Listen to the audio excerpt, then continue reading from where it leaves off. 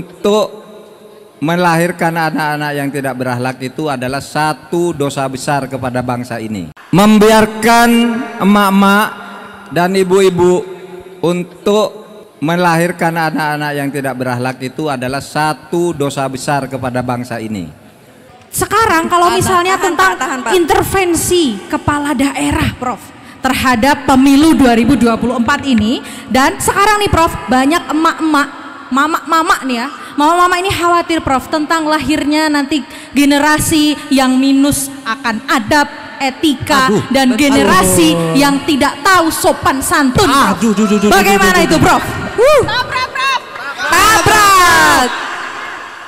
Membiarkan emak-emak dan ibu-ibu untuk melahirkan anak-anak yang tidak berakhlak itu adalah satu dosa besar kepada bangsa ini. Bangsa ini akan hancur manakala generasi mendatang itu tidak punya etika dan tidak punya akhlak. Tabrak! Tabrak!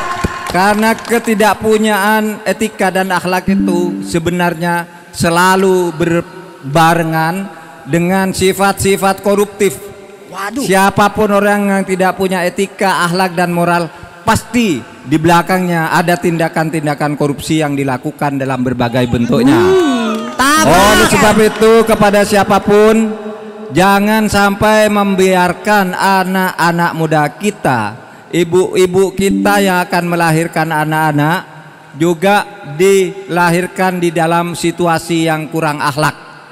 Itu Betul. bertentangan dengan budaya Indonesia, bertentangan dengan ajaran agama, bertentangan juga dengan tata hukum Indonesia.